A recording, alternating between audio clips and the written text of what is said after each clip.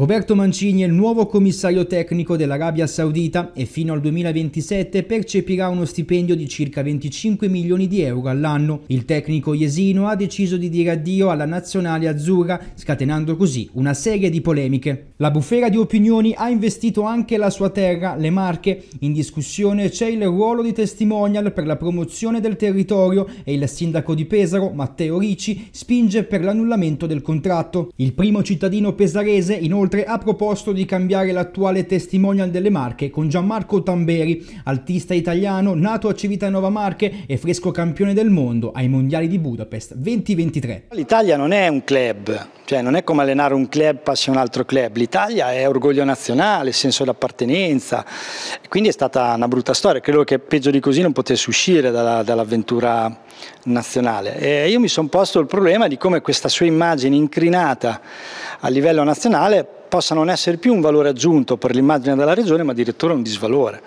Del resto la pubblicità della regione si fa nelle Marche con Mancini, non so se si fa qualcosa in Europa, non si fa in Arabia Saudita, quindi rischiamo di spendere soldi pubblici per una pubblicità che, ahimè, per come si è comportato, eh, rischia di diventare negativa. Quindi mi, sembra un ragionamento molto condiviso nella popolazione molto diffuso e al tempo stesso ho pensato che Tamberi, che già è testimonial per la Regione Marche Social, potesse diventare in questo momento il testimonial migliore come testimonial unico per le, per le Marche. Quindi una proposta, vedo che la Regione si è irrisidita, secondo me sbagliano e rischiano di fare dei danni all'immagine della Regione. A difendere Roberto Mancini è l'onorevole Mirko Carloni, il deputato leghista con un lungo post su Facebook ha dichiarato che la figura dell'ex CT Azzurro potrebbe migliorare migliorare ulteriormente i rapporti col Medio Oriente, opinione però non condivisa da Matteo Ricci. Io dubito e comunque sia per eh, un arabo in più che magari portiamo rischiamo di perdere migliaia di italiani.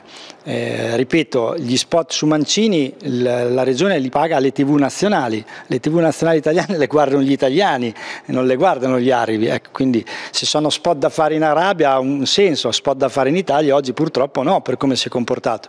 Siccome stiamo parlando di soldi pubblici e stiamo parlando di promozione eh, in un momento importantissimo che è dal punto di vista turistico per il nostro territorio, penso che vadano spesi al meglio. A mio parere, per quello che è successo, oggi non sono più spesi bene e quindi io invito a spenderli diversamente.